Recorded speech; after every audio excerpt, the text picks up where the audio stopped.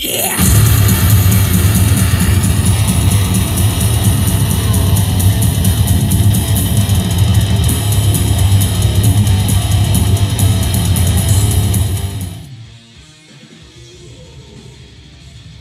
Hey guys, uh, welcome to Friday's Double Shot.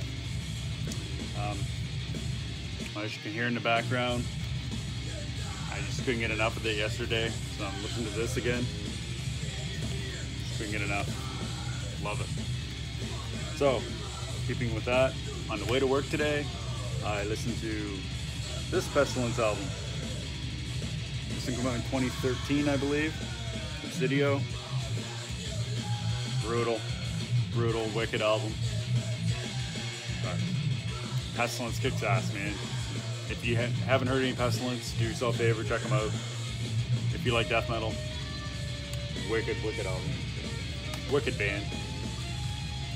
And keeping in the same vein, on the way home today, I listened to Rotting Repugnancy. Love these guys. Such a good album.